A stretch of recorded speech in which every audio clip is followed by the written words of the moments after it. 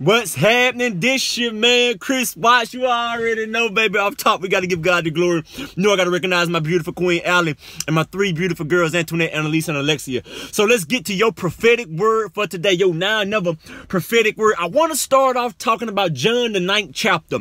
And as I paraphrase, it talks about a man being born blind. Jesus came onto the scene. The man began to cry to Jesus about being healed of being blind, right?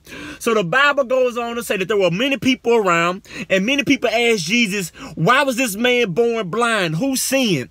And Jesus said, no one sinned, but this was done so that the works of God might be made manifest. So then Jesus proceeds to uh, uh, spit on the ground, make some mud, put it on the man's eyes, and tells the man to go wash in the pool. And when, when the man went to go wash in the pool, wash the mud off, he was able to see. He had his vision back. Now I can only imagine the man watching Jesus getting ready to perform the miracle, right? You crying out for Jesus to, to cure me, cure you of your blindness, right? And one of the first things Jesus does is he starts spitting. He starts spitting. He spits on the ground. Now, if you from where I'm from, whenever someone begins to spit, that is an automatic qualification for a fight. Spitting on someone or at someone is an automatic qualification of fighting. That is automatic disrespect. No questions asked. There will be hands thrown on sight. Whether you win or lose, you will be justified in the throwing of hands if somebody begin to spit at you or on you. You don't even got to spit on me. If you just spit at me and miss, well then it's time for me to connect. But I can imagine the man feeling right. Jesus began to spit on the ground.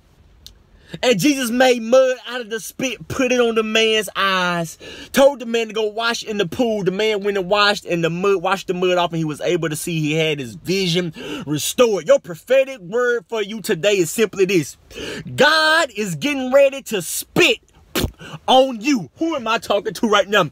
Some of you, you are in some situations just like the blind man. You are in some situations where, where, where you don't have proper vision. You are in some situations where you are blind to some things. Some of you need clarity. Some of you, and some of you, you are blind to the wrong things. You are blind to the fact that that man ain't no good for you.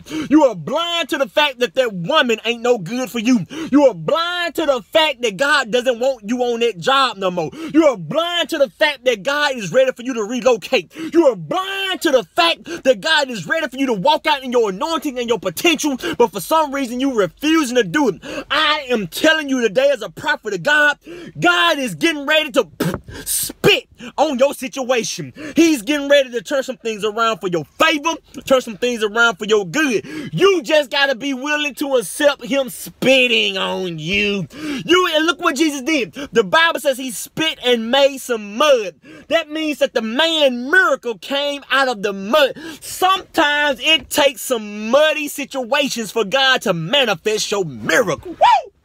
Boy, you preaching. I know I am. Sometimes it takes some muddy situations, and sometimes it even takes some muddy people to come and manifest your miracle.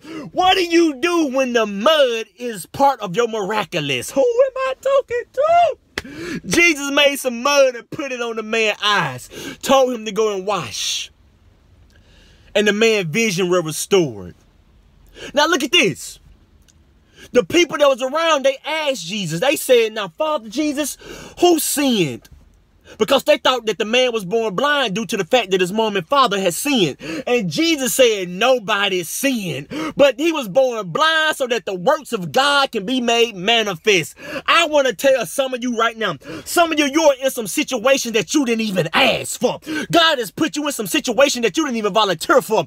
God got some of you in some situations that you didn't even raise your hand to be, to be a part of. But I just want you to know that some of you, you are in those hard situations not because you done anything wrong, but you in them just so God can get ready to work. God is looking for somebody he can work. God is looking for some situations he can go and put some work in. But in order for him to put some work in, he got to put you in some situations that may seem evil, but it's not evil. It's eternity. Getting ready to make a miracle out of your situation. Who am I talking to? I want to run across the street to the music store and get on the organ and tune my own self up, y'all. I just want some of you to know right now, God is getting ready to spit on you. He's getting ready to spit on your situation.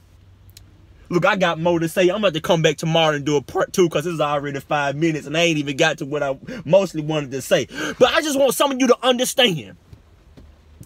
The man was born blind not because he did anything wrong, but because Jesus came to do a work. What do you do when God make you go through hell just so heaven can be seen? Oh, I want to get out, but it's raining. Y'all see it? Good God. I would just let, let the revelation just rain on me. What do you do when God make you go through hell just so heaven can be seen? The man born blind ain't did nothing wrong. He didn't do nothing. You. But Jesus said he was born blind just so the work of God can be made manifest. Some of you, you ain't done nothing wrong. God is just getting ready to work.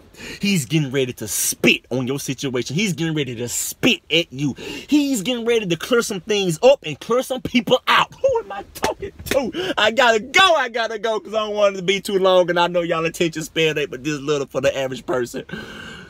I'll be back tomorrow to do part two to finish this prophetic word. But I just want you to know God has not forgotten about you and your prayers have come up as a memorial before God. And you getting ready to see this right here, a turnaround. All right? I just want you to know that God is getting ready to spit on you and spit at you. Get ready for it. This isn't the beginning. This is forever. Together is not another. Dream big, work hard, and live easy. Meet me right back here tomorrow for part two as I finish up this prophetic word. All right? We'll see you later.